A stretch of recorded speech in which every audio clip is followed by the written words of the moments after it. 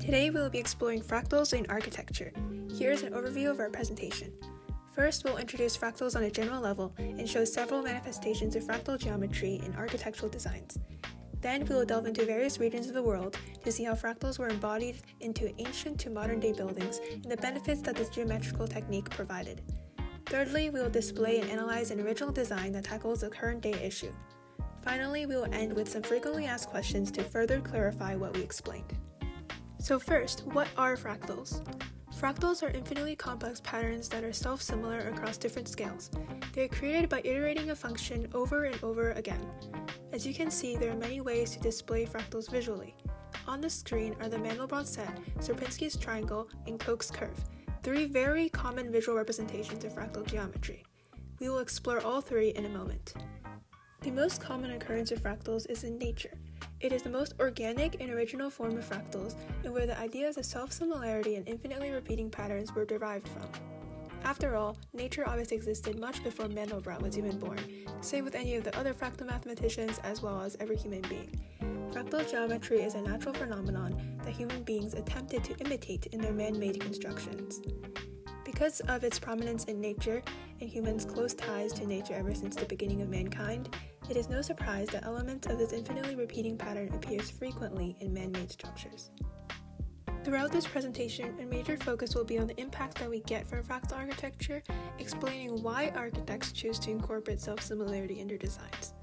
Most of the time, this means positive benefits that are a direct result of using fractals. We will delve into specifics later. First, we'll talk about two distinct methods that architects utilize to build fractal-inspired buildings. The geometric intuitive method is when architects use fractal patterns as inspiration for creative expression. The geometric mathematical method, however, is when fractal usage is backed up by some sort of mathematical reasoning to calculate fractal dimension. This is also used in analysis of existing buildings. It is important to keep in mind that most of the examples we'll be covering today were built much before Mandelbrot, Sierpinski, and Koch contributed their findings to fractal mathematics. This means that in ancient buildings, fractals were used purely for aesthetic, religious, social, and other purposes without a formal equation backing it up. There is research supporting the fact that the human brain is actually composed of fractals and functions based on self similar patterns. So, this can be connected to being naturally attracted to nature and fractal architecture in that there is some sort of self recognition aspect to seeing fractals in our environment. Such architecture could be seen as an exterior version of our inner brain.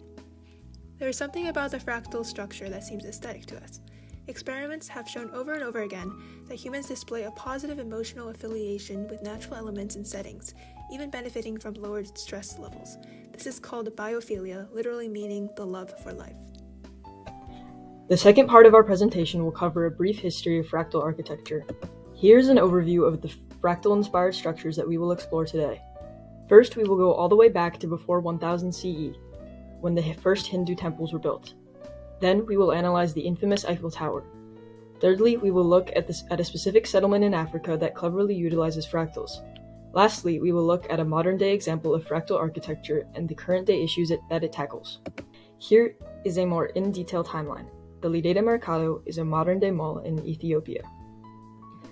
Our first structure is the Hindu temples. The most obvious fractal element to these temples is the iteration of the central spire, However, the very principles on which the temples were built were much more obviously linked to fractals. In Hindu philosophy, each part of the cosmos was thought to be the cosmos itself. Quote, the whole cosmic principle replicates itself again and again in ever smaller scales. The human being is said to contain within itself the entire cosmos.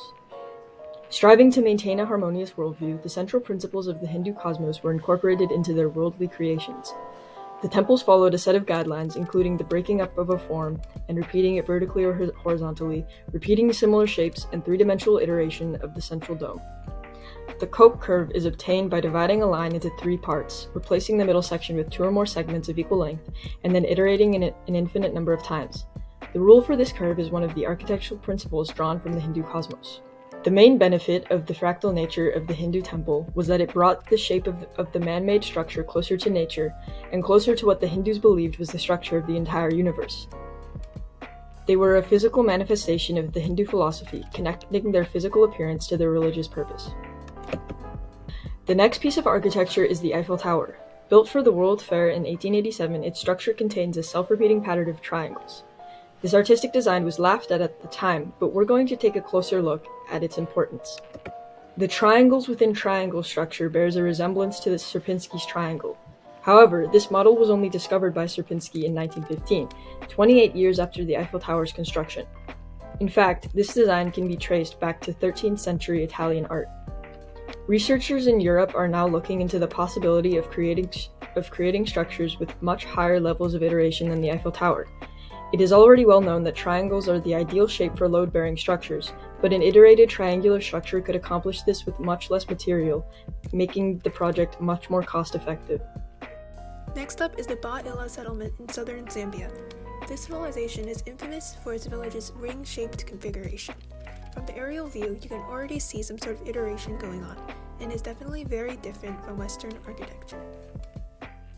Most primarily present in the design is the Mandelbrot set. If you zoom in on the spirals surrounding the Mandelbrot set, you will see a spiral consisting of smaller spirals going from larger size to smaller size. This is basically what is seen in the Ba-Ila village, except it is a ring of rings instead of a spiral of spirals. The rings are lined up in descending order from the center, and now we will explore why the villages are shaped like this. The fractal design helps them order their village by social structure, with the decreasing size from the center representing a social gradient. There are three iterations in one village, with the smallest rings being small households, the rings of smaller rings being extended family, and the largest ring being the entire village. Each ring consists of a house and a livestock pen, and there are storage houses dotting the outskirts of the rings. In the center is a second iteration ring that belongs to the chief and his immediate family members. The Ba-Ila people, like most African civilizations, were closely tied by kinship, so the use of fractals in their architecture conveys their cultural values in this way. Moving on to our final building analysis, the Lideta Mercato Mall in Ethiopia. This was built in the last decade, so there is definitely more mathematical basis behind this structure. The mall has a textile like facade and also has circular fractals on the roof. If you look at the facade of the mall, there are definitely components of Sierpinski's carpet, African architecture and patterns, as well as Cantor dust. There are big squares next to many smaller squares, and the whole building looks like a 3D version of Sierpinski's carpet. There are elements of African culture in the design as well, since this square pattern is commonly found on African clothing, textiles, and pottery. The architect said that his design was based on open air markets in Ethiopia, as he wanted a building with good air ventilation. When the architect first received the request to build a mall, he cringed at the thought of building a stereotypical, boring, Western style shopping mall that consisted of a lot of glass and little air ventilation. It was only until he developed the idea of utilizing fractals that he felt inspired to pursue this project. As I mentioned before, the shopping mall prioritizes air ventilation for cooling. Since it is pretty hot for most of the year in Ethiopia, cooling is definitely a concern there. The fractal facade allows for effective cross ventilation.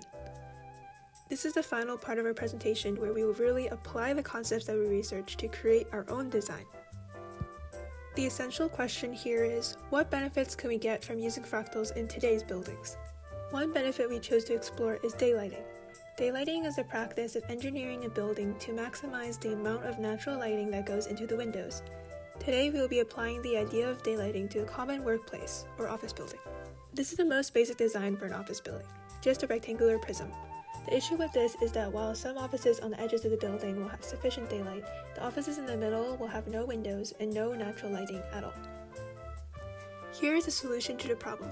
Originally, the office building had a 900 feet perimeter. In this fractal enhanced version, inspired by the third iteration of Hilbert's space filling curve, there is a perimeter of 2,040 feet, more than double the amount. Although this design is certainly inspired by the third iteration of Hilbert's curve, it does not exactly follow it, since it still takes up the same amount of area as the rectangular prism office building on the previous slide. Despite using the same finite area, using fractals and infinite perimeter can be achieved. More perimeter means more surface area, leading to more natural lighting being in direct and indirect contact with the building's interior. This can lead to psychological benefits for the employees. I created a 3D model of the design in SketchUp. Let's watch a brief clip illustrating the building throughout the workday. So this is the building at 7 a.m., which is the beginning of a normal workday. As you can see, there are definitely some harsh shadows on this side. But as it nears noontime, almost every part of the building has sufficient daylight. as it gets later, this side has disadvantage and has more shadows than the other side. But despite um, not having a whole workday's worth of perfect daylight, direct daylight, at least the middle part of the building has windows and has indirect sunlight, which is much better than the original rectangular prism. Maximizing natural lighting and views of nature in a workplace has tons of benefits. First, there are a bunch of health benefits, such as reduced eye strain, fewer headaches, and improved mood, all of which are proven by countless research. Workers are also less drowsy and have higher productivity rates and lower stress levels. Additionally, the utilization of natural lighting instead of artificial lighting reduces energy use, which is highly beneficial for the environment. This idea can be applied to West High School, since some classrooms, especially in the library, there are no windows at all. This could be problematic for the students and teachers' stress levels, as well as potentially harmful towards productivity rates in school. And of course, Fractal Architecture's list of benefits extends beyond just maximizing daylight. On the screen is a fractal configuration of solar panels to maximize the amount of sunlight that hits the panel. There are infinite ways for fractals to be incorporated into our architecture today, and infinite benefits that can follow. Thanks for watching!